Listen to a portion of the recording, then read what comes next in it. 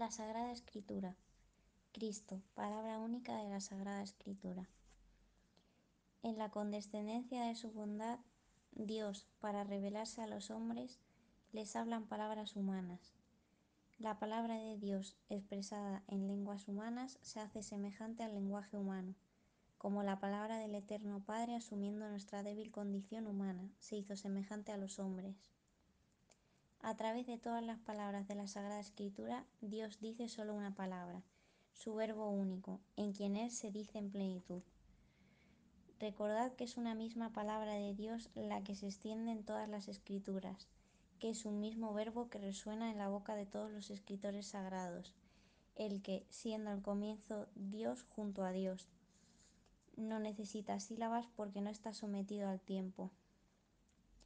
Por esta razón, la Iglesia ha venerado siempre las divinas escrituras como venera también el cuerpo del Señor.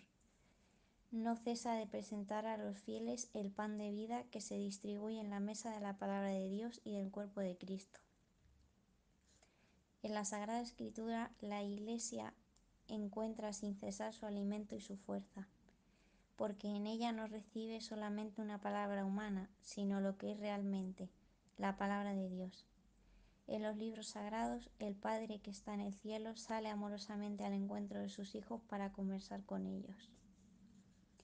Inspiración y verdad de la Sagrada Escritura. Dios es el autor de la Sagrada Escritura. Las verdades reveladas por Dios, que se contienen y manifiestan en la Sagrada Escritura, se consignaron por inspiración del Espíritu Santo.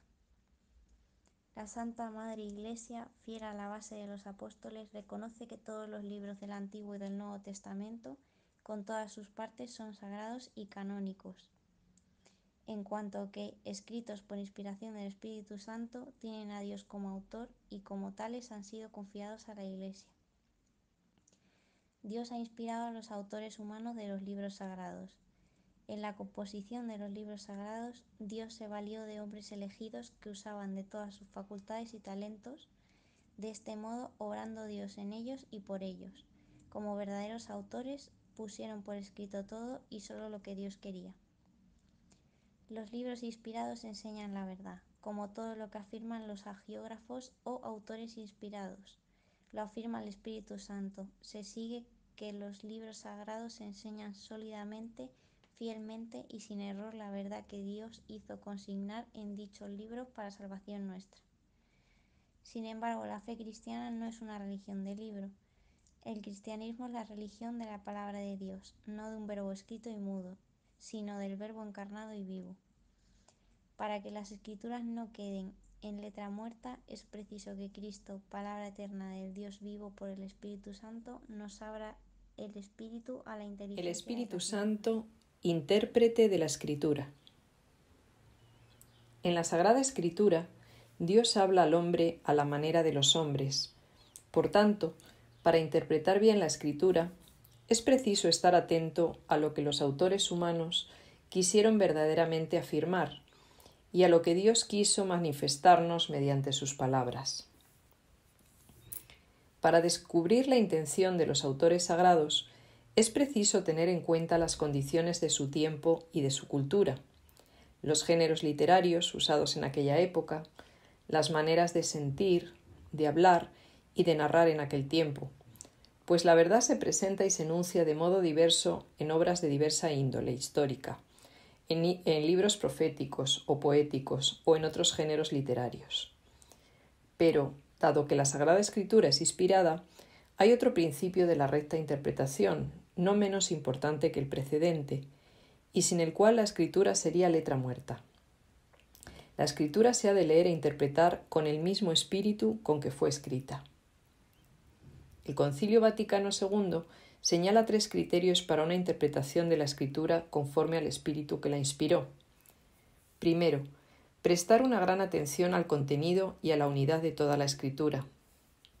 En efecto, por muy diferentes que sean los libros que la componen, la escritura es una en razón de la unidad del designio de Dios, del que Cristo Jesús es el centro y el corazón abierto desde su Pascua. El corazón de Cristo designa la Sagrada Escritura que hace conocer el corazón de Cristo. Este corazón estaba cerrado antes de la pasión, porque la escritura era oscura. Pero la escritura fue abierta después de la pasión, porque los que en adelante tienen inteligencia de ella consideran y disciernen de qué manera deben ser interpretadas las profecías. 2. Leer la escritura en la tradición viva de toda la Iglesia.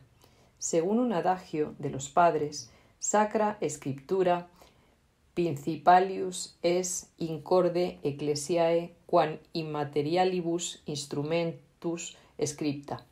La Sagrada Escritura está más en el corazón de la Iglesia que en la materialidad de los libros escritos. En efecto, la Iglesia encierra en su tradición la memoria viva de la palabra de Dios, y el Espíritu Santo le da la interpretación espiritual de la Escritura. Secundum spiritualem sensum quen spiritus donat ecclesiae. Tercero, estar atento a la analogía de la fe. Por analogía de la fe entendemos la cohesión de las verdades de la fe entre sí y en el proyecto total de la revelación. El sentido de la escritura. Según una antigua tradición, se pueden distinguir dos sentidos de la escritura, el sentido literal y el sentido espiritual. Este último se subdivide en sentido alegórico, moral y anagógico. La concordancia profunda de los cuatro sentidos asegura toda su riqueza la lectura viva de la escritura en la Iglesia. El sentido literal es el sentido significado por las palabras de la escritura y descubierto por la exégesis que sigue las reglas de la justa interpretación. Omnes sensus fundentur super literalem. Todos los sentidos de la Sagrada Escritura se fundan sobre el sentido literal. El sentido espiritual. Gracias a la unidad del designio de Dios, no solamente el texto de la escritura, sino también las realidades y los acontecimientos de que habla pueden ser signos. Primero, el sentido alegórico. Podemos adquirir una comprensión más profunda de los acontecimientos reconociendo su significación en Cristo. Así, el paso del Mar Rojo es un signo de la victoria de Cristo y por ello del bautismo. Segundo, el sentido moral. Los acontecimientos narrados en la Escritura pueden conducirnos a un obrar justo. Fueron, fueron escritos para nuestra instrucción. Tercero, el sentido anagógico. Podemos ver realidades y acontecimientos en su significación eterna que nos conduce, en griego anagoge, hacia nuestra patria. Así, la Iglesia en la tierra es, es signo de la Jerusalén celeste. Un dístico medieval resume la significación de los cuatro sentidos. Litera gesta docet, quid credas alegoría. Moralis quid hagas, quotendas anagogia. anagogia. A los exégetas toca aplicar estas normas en su trabajo para ir penetrando y exponiendo el sentido de la Sagrada Escritura, de modo que con dicho estudio pueda madurar el juicio de la Iglesia. Todo lo dicho sobre la interpretación de la Escritura queda sometido al juicio definitivo de la Iglesia, que recibió de Dios el encargo y el oficio de conservar e interpretar la palabra de Dios. Ego vero evangelio non credere, ni si me catholicae ecclesiae commoveret autoritas. El canon de las Escrituras. La tradición apostólica hizo discernir a la Iglesia qué escritos constituyen la lista de los libros santos. Esta lista integral es llamada Canón de las Escrituras. Comprende para el Antiguo Testamento 46 escritos, 45 si se cuenta Jeremías y Lamentaciones como uno solo, y 27 para el Nuevo. Génesis, Éxodo, Levítico, Números, Deuteronomio, Josué, Jueces, Ruth, los dos libros de Samuel, los dos libros de los reyes, los dos libros de, los, de las crónicas, Estras y Nehemías, Tobías, Judith, Esther, los dos libros de los Macabeos, Job, los Salmos, los Proverbios, el Eclesiastes, el Cantar de los Cantares, la Sabiduría, el Eclesiástico, Isaías, Jeremías, las Lamentaciones, Baruch, Ezequiel, Daniel, Oseas, Joel, Amos, Abdias, Jonas, Miqueas, Narum, Habacuc, Sofonías, Ageo, Zacarías, Malaquías para el Antiguo Testamento. Los evangelios de Mateo, de Marcos, de Lucas, de Juan, los hechos de los apóstoles, las cartas de Pablo a los romanos, la primera y segunda a los corintios, a los gálatas, a los efesios, a los filipenses, a los colosenses, la primera y la segunda a los tesalonicenses, la primera y la segunda a Timoteo, a Tito, a Filemón, la carta a los hebreos, la carta de Santiago, la primera y la segunda de Pedro, las tres cartas de Juan, la carta de Judas y el Apocalipsis para el Nuevo Testamento. El Antiguo Testamento. El Antiguo Testamento es una parte de la Sagrada Escritura de la que no se puede prescindir. Sus libros son libros divinamente inspirados y conservan un valor permanente, porque la antigua alianza no ha sido revocada. En efecto, el fin principal de la economía antigua era preparar la venida de Cristo, Redentor universal. Aunque contiene elementos imperfectos y pasajeros, los libros del Antiguo Testamento dan testimonio de toda la vida pedagogía del amor salvífico de Dios. Contienen enseñanzas sublimes sobre Dios y una sabiduría salvadora acerca del hombre. Encierran tesoros de oración y esconde el misterio de nuestra salvación. Los cristianos veneran el Antiguo Testamento como verdadera palabra de Dios. La Iglesia ha rechazado siempre vigorosamente la idea de prescindir del Antiguo Testamento, su pretexto de que el Nuevo lo habría hecho caduco. El Nuevo Testamento, la palabra de Dios, que es fuerza de Dios para la salvación del que cree, se encuentra y despliega su fuerza de modo privilegiado en el Nuevo Testamento. Estos escritos nos ofrecen la verdad, definitiva de la revelación divina. Su objeto central es Jesucristo, el Hijo de Dios encarnado, sus obras, sus enseñanzas, su pasión y su glorificación, así como los comienzos de su iglesia bajo la acción del Espíritu Santo. Los evangelios son el corazón de todas las escrituras, por ser el testimonio principal de la vida y doctrina de la palabra hecha carne, nuestro Salvador. En la formación de los evangelios se pueden distinguir tres etapas. La primera, la vida y la enseñanza de Jesús. La Iglesia mantiene firmemente que los cuatro evangelios cuya historiosidad afirma sin vacilar comunican fielmente lo que Jesús, Hijo de Dios, viviendo entre los hombres, hizo y enseñó realmente para la salvación de ellos hasta el día en que fue levantado al cielo. La segunda, la tradición oral. Los apóstoles ciertamente después de la ascensión del Señor predicaron a sus oyentes lo que él había dicho y obrado, con aquella crecida inteligencia de que ellos gozaban amaestrados por los acontecimientos gloriosos de Cristo y por la luz del Espíritu de la verdad. La tercera, los evangelios escritos, los autores sagrados escribieron los cuatro evangelios, escogiendo algunas cosas de las muchas que ya se transmitían de palabra o por escrito, sintetizando otras o explicándolas, atendiendo a la condición de las iglesias, conservando por fin la forma de proclamación, de manera que siempre nos comunicaban la verdad sincera acerca de Jesús. El Evangelio cuatriforme ocupa en la Iglesia un lugar único de ello. De ello dan testimonio la veneración de que lo rodea la liturgia y el atractivo incomparable que ha ejercido en todo tiempo sobre los santos. No hay ninguna doctrina que sea mejor, más preciosa y más espléndida que el texto del Evangelio. Ved y retened lo que nuestro Señor y Maestro Cristo ha enseñado mediante sus palabras y realizado mediante sus obras. Santa Cesarea, la joven. Es sobre todo el Evangelio lo que me ocupa durante mis oraciones.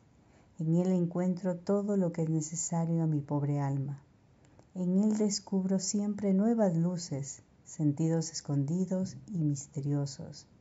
Santa Teresita del Niño Jesús. La unidad del Antiguo y del Nuevo Testamento. La Iglesia, ya en tiempos apostólicos y después constantemente en su tradición, esclareció la unidad del plan divino en los dos testamentos gracias a la tipología. Esta reconoce en las obras de Dios, en la antigua alianza, prefiguraciones de lo que Dios realizó en la plenitud de los tiempos en la persona de su Hijo encarnado. Los cristianos, por tanto, leen el Antiguo Testamento a la luz de Cristo muerto y resucitado. Esta lectura tipológica manifiesta el contenido inagotable del Antiguo Testamento. Ella no debe hacer olvidar que el Antiguo Testamento conserva su valor propio de revelación que nuestro Señor mismo reafirmó. Por otra parte, el Nuevo Testamento exige ser leído también a la luz del antiguo. La catequesis cristiana primitiva recurrirá constantemente a él. Según un viejo adagio, el Nuevo Testamento está escondido en el Antiguo, mientras que el Antiguo se hace manifiesto en el Nuevo.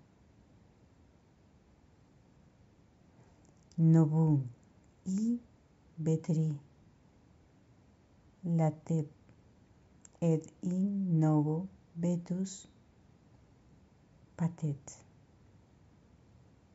La tipología significa un dinamismo que se orienta al cumplimiento del plan divino cuando Dios sea todo en todos.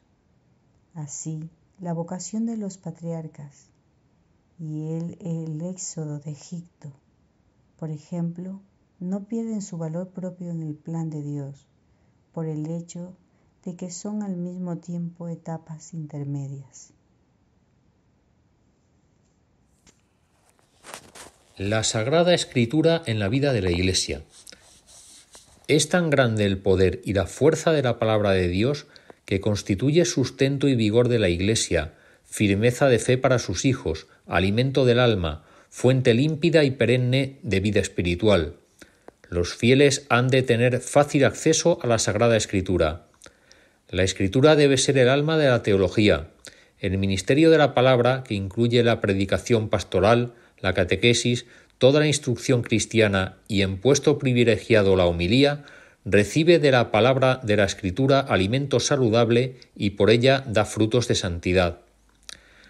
La Iglesia recomienda insistentemente a todos los fieles la lectura asidua de la Escritura para que adquieran la ciencia suprema de Jesucristo, pues desconocer la Escritura es desconocer a Cristo. Resumen. Toda la Escritura divina es un libro y este libro es Cristo, porque toda la Escritura divina habla de Cristo y toda la Escritura divina se cumple en Cristo. La Sagrada Escritura contiene la palabra de Dios y en cuanto inspirada es realmente palabra de Dios. Dios es el autor de la Sagrada Escritura porque inspira a sus autores humanos, actúa en ellos y por ellos, da así la seguridad de que sus escritos enseñan sin error la verdad salvífica. La interpretación de las escrituras inspiradas debe estar sobre todo atenta a lo que Dios quiere revelar por medio de los autores sagrados para nuestra salvación. Lo que viene del Espíritu solo es plenamente percibido por la acción del Espíritu. La Iglesia recibe y venera como inspirados los 46 libros del Antiguo Testamento y los 27 del Nuevo. Los cuatro Evangelios ocupan un lugar central, pues su centro es Cristo Jesús. La unidad de los dos testamentos se deriva de la unidad del plan de Dios y de su revelación. El Antiguo Testamento prepara el Nuevo, mientras que éste da cumplimiento al Antiguo. Los dos se esclarecen mutuamente. Los dos son verdadera palabra de Dios. La Iglesia siempre ha venerado la Sagrada Escritura como lo ha hecho con el cuerpo de Cristo. Aquellas y éste alimentan y rigen toda la vida cristiana. Para mis pies antorcha es tu palabra, luz para mi sendero. Capítulo tercero. La respuesta del hombre a Dios.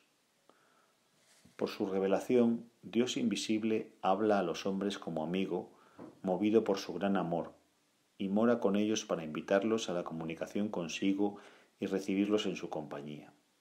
La respuesta adecuada a esta invitación es la fe. Por la fe el hombre somete completamente su inteligencia y voluntad a Dios. Con todo su ser, el hombre da su sentimiento a Dios que revela. La Sagrada Escritura llama obediencia de la fe a esta respuesta del hombre a Dios que revela. Creo, la obediencia de la fe. Obedecer en la fe es someterse libremente a la palabra escuchada porque su verdad está garantizada por Dios, la verdad misma. De esta obediencia Abraham es el modelo que nos propone la Sagrada Escritura. La Virgen María es la realización más perfecta de la misma. Abraham, el padre de todos los creyentes. La carta a los hebreos, en el gran elogio de la fe de los antepasados, insiste particularmente en la fe de Abraham. Por la fe, Abraham obedeció y salió para el lugar que había de recibir en herencia, y salió sin saber a dónde iba. Por la fe, vivió como extranjero y peregrino en la tierra prometida. Por la fe, a Sara se otorgó el concebir al hijo de la promesa. Por la fe, finalmente, Abraham ofreció a su hijo único en sacrificio. Abraham realiza así la definición de la fe dada por la carta a los hebreos.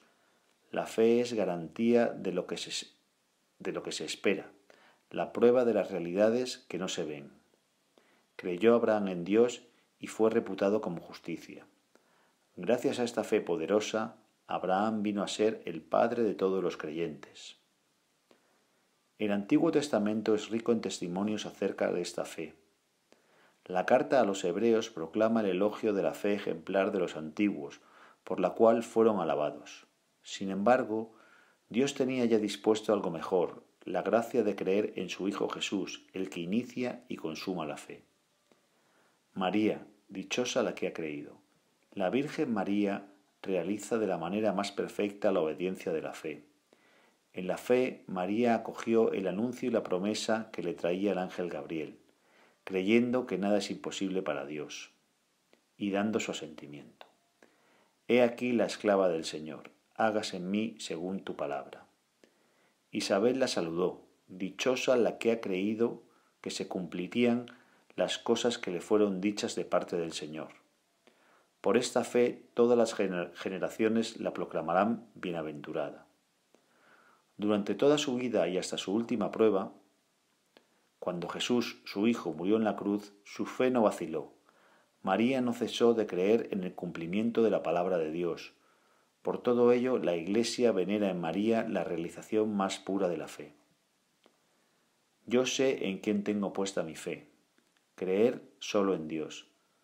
La fe es ante todo una adhesión personal del hombre a Dios. Es al mismo tiempo inseparablemente el asentimiento libre a toda la verdad que Dios ha revelado. En cuanto a adhesión personal a Dios y asentimiento a la verdad que Él ha revelado, la fe cristiana difiere de la fe en una persona humana. Es justo y bueno confiarse totalmente a Dios y creer absolutamente lo que Él dice. Sería vano y errado poner una fe semejante en una criatura. Creer en Jesucristo, el Hijo de Dios. Para el cristiano, creer en Dios es inseparablemente creer en aquel que Él ha enviado, su Hijo amado, en quien ha puesto toda su complacencia. Dios nos ha dicho que les, escuchemos. El Señor mismo dice a sus discípulos, Creed en Dios, creed también en mí. Podemos creer en Jesucristo porque es Dios, el Verbo hecho carne. A Dios nadie le ha visto jamás.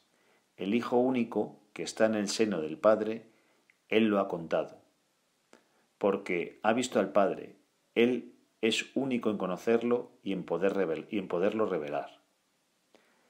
Creer en el Espíritu Santo. No se puede creer en Jesucristo sin tener parte en su Espíritu. Es el Espíritu Santo quien revela a los hombres quién es Jesús, porque nadie puede decir Jesús es Señor sino bajo la acción del Espíritu Santo. El Espíritu todo lo sondea, hasta las profundidades de Dios. Nadie conoce lo íntimo de Dios sino el Espíritu de Dios. Solo Dios conoce a Dios enteramente. Nosotros creemos en el Espíritu Santo porque es Dios. La Iglesia no cesa de confesar su fe en un solo Dios, Padre, Hijo y Espíritu Santo. Las características de la fe. La fe es una gracia. Cuando San Pedro confiesa que Jesús es el Cristo, el Hijo de Dios vivo, Jesús le declara que esta revelación no le ha venido de la carne y de la sangre, sino de mi Padre que está en los cielos. La fe es un don de Dios, una virtud sobrenatural, infundida por Él. Para dar esta respuesta de la fe es necesaria la gracia de Dios, que se adelanta y nos ayuda junto con el auxilio interior del Espíritu Santo, que mueve el corazón, lo dirige a Dios, abre los ojos del Espíritu y concede a todos gusto en aceptar y creer la verdad. La fe es un acto humano. Solo es posible creer por la gracia y los auxilios interiores del Espíritu Santo, pero no es menos cierto que creer es un acto auténticamente humano. No es contrario ni a la libertad ni a la inteligencia del hombre depositar la confianza en Dios y adherirse a las verdades por Él reveladas. Ya en las relaciones humanas no es contrario a nuestra propia dignidad creer lo que otras personas nos dicen sobre ellas mismas y sobre sus intenciones y prestar confianza a sus promesas, como por ejemplo cuando un hombre y una mujer se casan para entrar así en comunión mutua. Por ello, es todavía menos contrario a nuestra dignidad presentar por la fe la sumisión plena de nuestra inteligencia y de nuestra voluntad al Dios que revela y entrar así en comunión íntima con Él. En la fe, la inteligencia y la voluntad humanas cooperan con la gracia divina. Creer es un acto del entendimiento que asiente a la verdad divina por imperio de la voluntad movida por Dios mediante la gracia. La fe y la inteligencia. El motivo de creer no radica en el hecho de que las verdades reveladas aparezcan como verdaderas e inteligibles a la luz de nuestra razón natural. Creemos a causa de la autoridad de Dios mismo que revela y que no puede engañarse ni engañarnos. Sin embargo, para que el homenaje de nuestra fe fuese conforme a la razón, Dios ha querido que los auxilios interiores del Espíritu Santo vayan acompañados de las pruebas exteriores de su revelación. Los milagros de Cristo y de los santos, las profecías, la propagación y la santidad de la Iglesia, su fecundidad y su estabilidad son signos ciertos de la revelación, adaptados a la inteligencia de todos motivos de credibilidad que muestran que el asentimiento de la fe no es en modo alguno un movimiento ciego del espíritu. La fe es cierta, más cierta que todo conocimiento humano porque se funda en la palabra misma de Dios, que no puede mentir. Ciertamente, las verdades reveladas pueden parecer oscuras a la razón y a la experiencia humanas, pero la certeza que da la luz divina es mayor que la que da la luz de la razón natural. Diez mil dificultades no hacen una sola duda. La fe trata de comprender. Es inherente a la fe que el creyente desee conocer mejor a aquel en quien ha puesto su fe y comprender mejor lo que le ha sido revelado Un conocimiento más penetrante suscitará a su vez una fe mayor, cada vez más encendida de amor.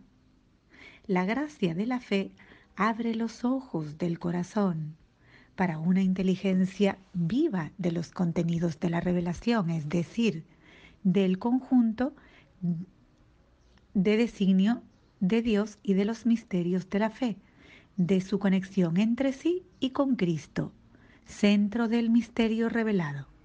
Ahora bien, para que la inteligencia de la revelación sea más profunda, el mismo Espíritu Santo perfecciona constantemente la fe por medio de sus dones. Así, según el adagio de San Agustín, creo para comprender y comprendo para creer mejor. Fe y ciencia. A pesar de que la fe esté por encima de la razón, jamás puede haber desacuerdo entre ellas, puesto que el mismo Dios que revela los misterios y comunica la fe ha hecho descender en el espíritu humano la luz de la razón, Dios no podría negarse a sí mismo, ni lo verdadero contradecir jamás a lo verdadero. Por eso, la investigación metódica en todas las disciplinas, si se procede de un modo realmente científico y según las normas morales, nunca estará realmente en oposición con la fe, porque las realidades profanas y las realidades de fe tienen su origen en el mismo Dios. Más aún, quien con espíritu humilde y ánimo constante se esfuerza por escrutar lo escondido de las cosas, aun sin saberlo, está como guiado por la mano de Dios, que sosteniendo todas las cosas hace que sean lo que son. La libertad de la fe. El hombre, al creer, debe responder voluntariamente a Dios. Nadie debe estar obligado contra su voluntad a abrazar la fe. En efecto, el acto de fe es voluntario por su propia naturaleza.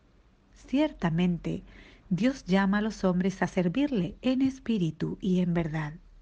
Por ello, quedan vinculados por su conciencia, pero no coaccionados.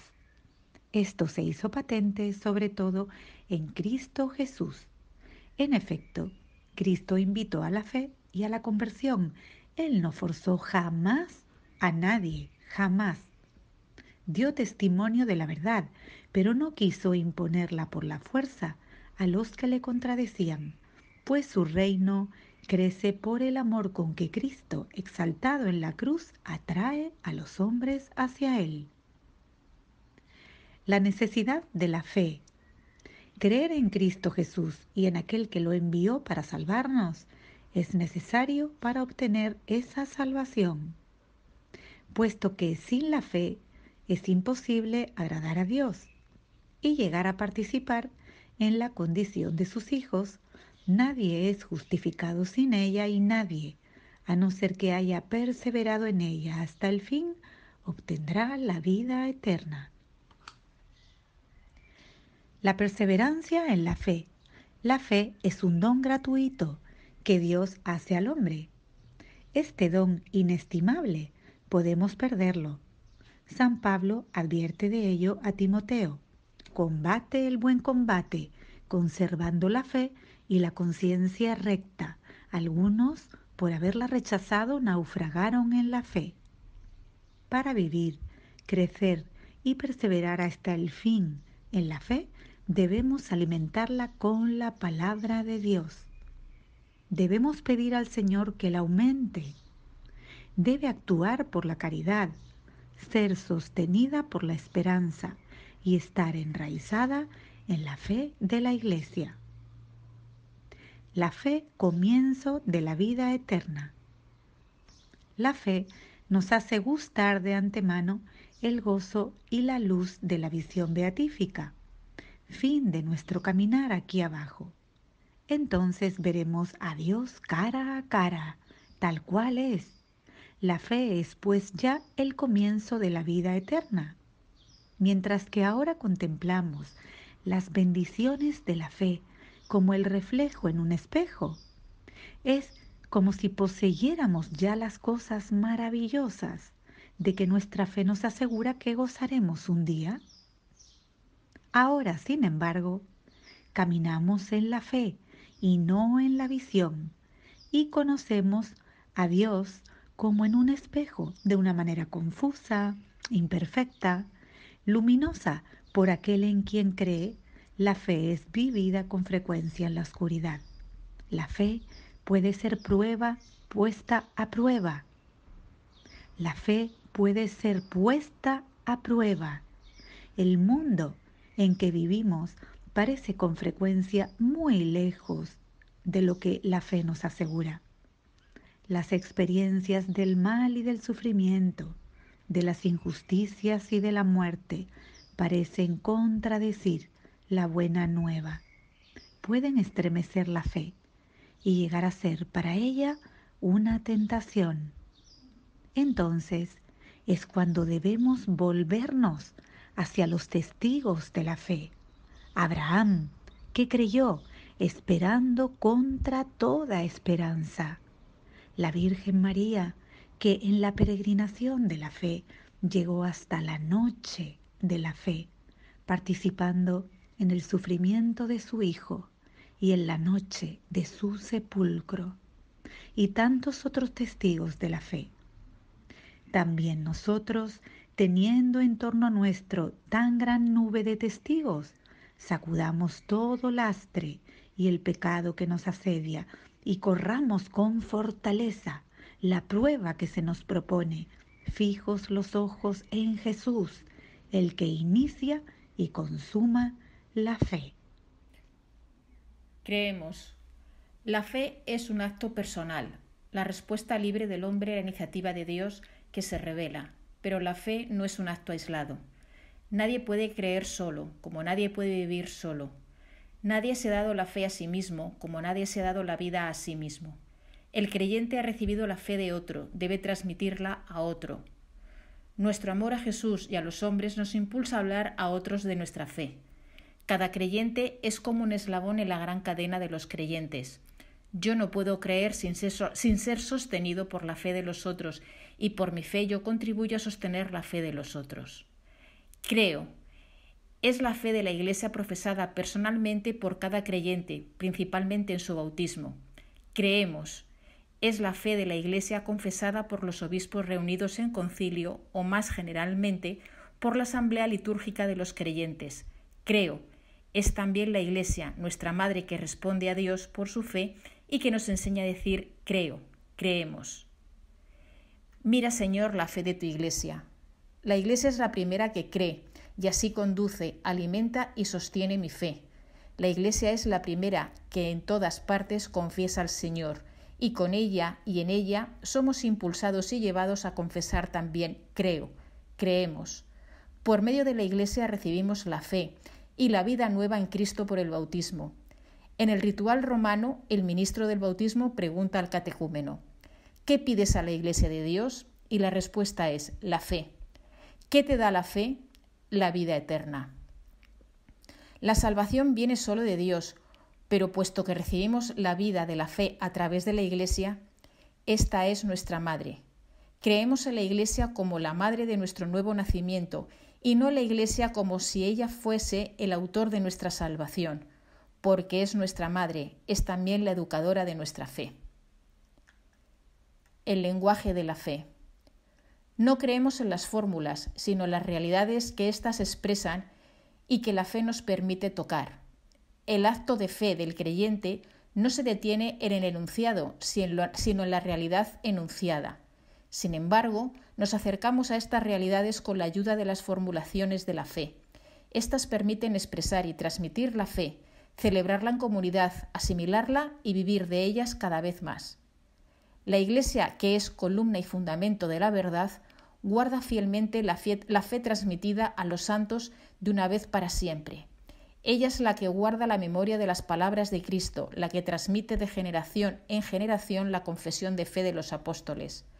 Como una madre que enseña a sus hijos a hablar y con ello a comprender y a comunicar, la Iglesia, nuestra madre, nos enseña el lenguaje de la fe para introducirnos en la inteligencia y la vida de la fe.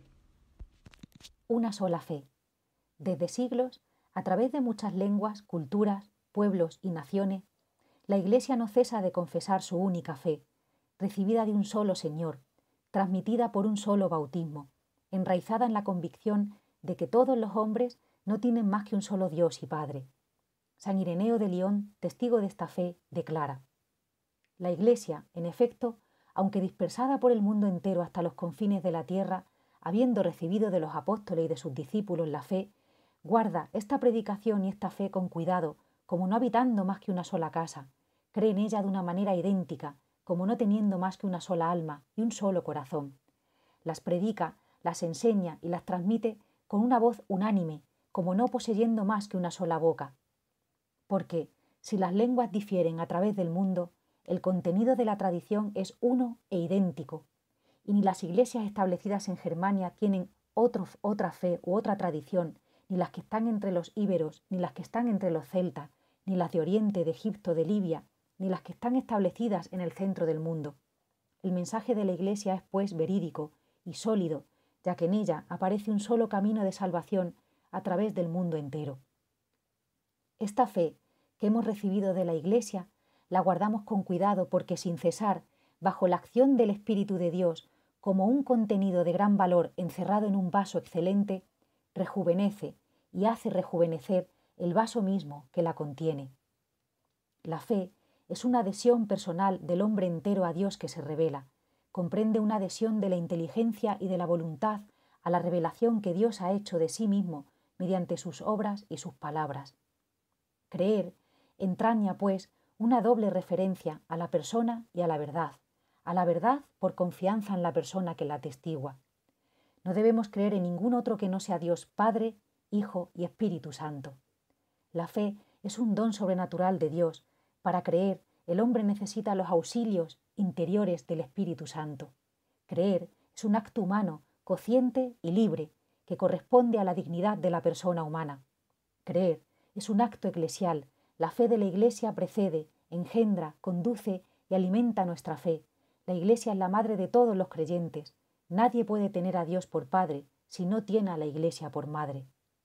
Creemos todas aquellas cosas que se contienen en la palabra de Dios escrita o transmitida y son propuestas por la Iglesia para ser creídas como divinamente reveladas. La fe es necesaria para la salvación. El Señor mismo lo afirma. El que crea, y sea bautizado, se salvará, el que no crea, se condenará. La fe es un gusto anticipado del conocimiento que nos hará bienaventurados en la vida futura.